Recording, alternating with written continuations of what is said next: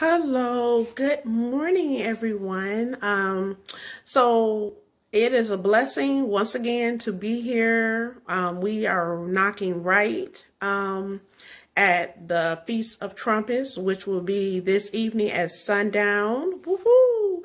Um, but I want to come quickly to um, clear up something that I said yesterday.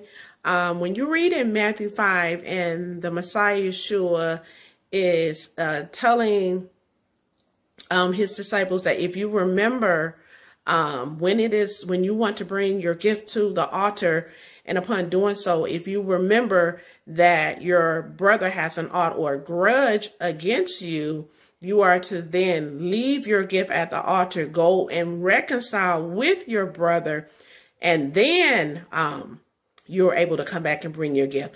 When you read that many uh, attribute that to mean that if you uh, um, are going to bring a gift and if someone has an ought against you personally, then that means that you cannot keep the feast or you cannot bring your gift because a brother has an ought. It doesn't mean if someone's just angry with you without a cause or someone doesn't like you what that scripture is saying, and the Ruach gave me a better understanding this morning. This means that, let's say, if I am the transgressor, okay, I want to keep the feast. I want to come into the altar of Yah and come into his presence and bring a gift. And then I remember that I transgress another brother. Maybe I stole from another brother or I borrowed money and didn't give it back. Or I made a promise or an oath and I broke it. We're talking about um, a legal um, right according to Torah. If I decide I want to keep the feast, and I'm using myself as an example, if I decide I want to come and bring a gift, I want to keep the feast. However, I when I get to the altar, I remember that I transgressed another brother, that I broke Torah somewhere in his law, I broke his Torah as far as how I am to treat another brother, than you, then I, the transgressor, is the one that has to go and reconcile and make peace with that brother or sister that I transgress. I just want to clear that up. Um, we have to again uh, make sure that we're not coming and celebrating these uh, the feasts that we can keep, and there's only two. I know our brothers think that we can keep all of them. We cannot. There are only two that we can keep outside of the land of Jerusalem, the place where he left his name. And that is the two that's coming now to, this evening, trumpets, shofar, and as well as uh, atonement. So Make sure that we're doing everything the way that he said to do it, how he said to do it. His feast days are statutes. So as much as we have our zeal and wanting to, to keep them where, when, and how we want to, we cannot do that. Yah is holy. We must reverence him and honor his statutes. He doesn't just talk about the law because I know our people, we talk about the law and keeping Torah, and he says to keep his feast days forever. But he said that we keep them how he said, where he said, when he said. It is a time element. Um, these are moedim. and if we're going to rehearse them and practice them, these are seasons. We have to do them in their seasons. I can't celebrate summer and winter.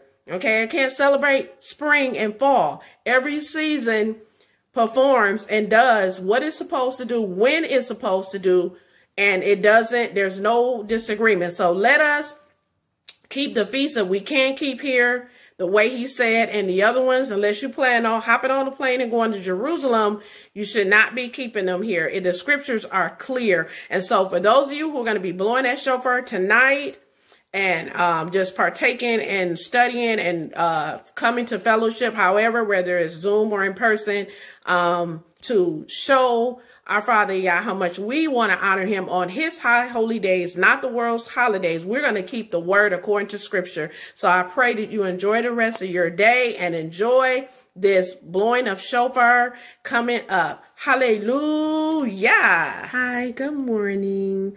Um, just wanted to as we get ready to uh, one of uh, the feast days of Yah is here.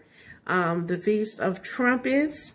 It is a blessing um, to be able to be rid of the world's holidays and to partake in his holy days. I wanted to clear up something yesterday in one of the videos. Um, when it comes to bringing your gift to the altar and coming before him to keep his feast, if you are the transgressor that has transgressed a brother or a sister in Torah, have broken an oath, have transgressed them according to the law, and you wish to partake in his feast days, you are the one that need to go leave your gift at the altar and bring uh go reconcile with your brother.